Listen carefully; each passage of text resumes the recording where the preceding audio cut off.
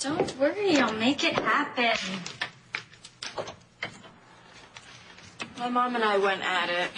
Crystal got on me. God, I am so tired of all the drama. I don't want to do this barbecue. I just want to go see Dre and make sure he's okay. What? You will so owe me. Well, Tad and Jesse took off like bats out of hell. Uh, they're getting the beer and dessert. Yeah. Colby, uh, caught me checking her water bottle. I thought she was drinking again. Was she? No, but she is wound up so tight. Hey, um, actually, Sharon just called and invited me to a pool party, and she said Cass could come.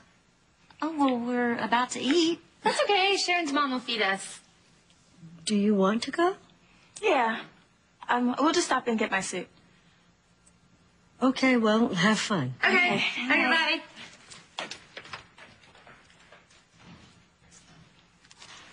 How are you and Cass doing? We talked. And it was good until Until what? until I started warning her about what I'd do if she picked a guy I didn't care for. I sounded just like my father. And it scared me to death.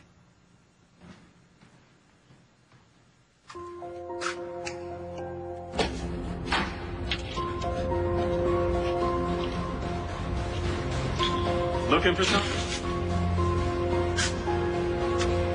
It's Annie Lavery's car. You want to get married again? Yeah, I do.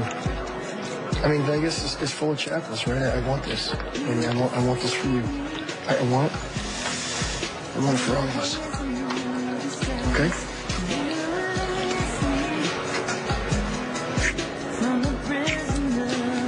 Okay, let's do it.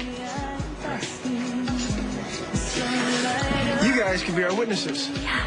Uh, I don't think that's a good idea. You're our friends, and we would really love to have you there. Okay. Come in. Great.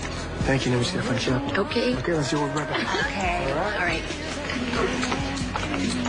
Oh my God, this is out of control. This is bad. Zach, what did Annie say to you? You have to come on. You have to tell me. I think Annie knows more about Richie's death than she's letting on. We found a chapel. Couldn't resist the name. Cherub. Cherub Chapel. We won't lose for years. Because I plan on hanging out with you for life. Let's do it. Here. Now. Do what? Marry me.